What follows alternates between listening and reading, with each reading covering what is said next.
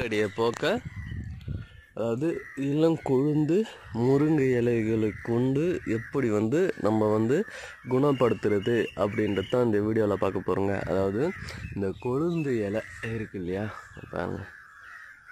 இந்த கொழுந்து இலையை இங்கே இருக்குது பாருங்க. முத்தனை இலை கிடையாது. கொழுந்து இலையை பிரித்து எடுத்து அதை நல்லா கசக்கி வெறும் வயிற்றில் பச்சை தண்ணி டீ காஃபி பால் எதுவுமே சாப்பிடாம இதை சாப்பிட்டுட்டு வந்தீங்கன்னா இது மட்டும்தான் சாப்பிட்ணும். வேறு எதுவும் சாப்பிடக்கூடாது. ஒரு அரை மணி நேரத்துக்கு. அந்த மாதிரி சாப்பிட்டுட்டு வந்தீங்கன்னா எப்பேற்பட்ட வந்து கிடையாது இருந்தாலும் சரியாயிடுங்க. ஓகே அதை இளங்கொழுந்து இலையை பிரித்து எடுத்துக்கிறோம் நம்ம. சரிங்களா? இந்த அளவுக்கு பிரித்து எடுத்துக்கோங்க. ஓகே பெரிச்சாச்சு. இது எப்படி ரெடி பண்ணி சாப்பிட போகிறோன்றத பார்க்க போகிறோம் இப்போ பார்த்தீங்கன்னா உங்கள் கொழுந்து முருங்கை இலையை வந்து பிரிச்சுட்டு எடுத்துன்னு வந்து வச்சுங்க. பாருங்கள் முத்தின இலை எதுவுமே இல்லை. சரிங்களா? எல்லாமே இலை கொழுந்து இலை தான். பார்த்தீங்கன்னா தெரியும். அப்படியே பச்சையாக இருக்குது பாருங்கள் சரிங்களா?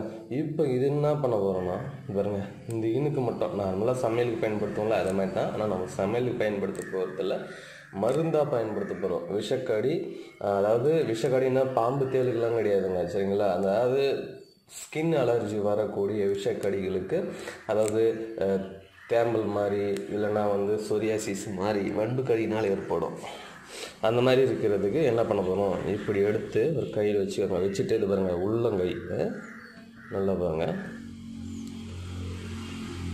இதான் உள்ளங்கை உள்ளங்கையில் வச்சு பாருங்கள் இப்படி நல்லா கசக்கணுங்க.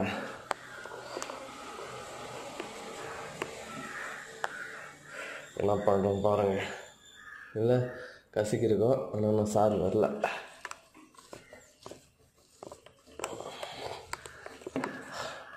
ஓகே பார்த்தீங்கன்னா சாறு வந்துருச்சு. தெரியுதுங்களா? இன்னும் கொஞ்சம் கசக்கணும். இங்கே பாருங்கள் கையிலையும் பார்த்தீங்கன்னா அந்த சாறு இருக்கு தெரியுங்களா சார் வந்துருச்சு. இது கொஞ்சம் கொமட்டலாக தான் இருக்கும். சரிங்களா? ஆனால் அதெல்லாம் பார்க்கக்கூடாது. கண்ணு மூடிட்டு வாயில் போட்டு ஒரே முழுங்கு. அவ்வளோதான் ரெடி ஆகிடுச்சு மருந்து. சரிங்களா? கண்ணு மூடிக்கோங்க. கண்ணு மூடிட்டு வாயில் போட்டு ஒரே முழுங்கு. முழுங்கிட்டிங்கன்னா போதும். எப்பேற்பட்ட விஷக்கடியாக இருந்தாலும் சரியாயிடுங்க. இந்த வீடியோ உங்களுக்கு பிடிச்சிருக்குன்னு நம்புகிறேன் மறக்காமல் ஒரு லைக் பண்ணுங்கள் அப்புறம் வந்து பார்த்திங்கன்னா உங்கள் ஃப்ரெண்ட்ஸ் எல்லாருக்கும் ஷேர் பண்ணி விடுங்க. இது போன்ற ஒரு வீடியோ நம்ம சேனலில் ச நீங்கள் பார்க்கணும்னா நம்ம சேனலை சப்ஸ்கிரைப் பண்ணி வச்சுக்கணும். கூட பெல் ஐக்கான் வரும்.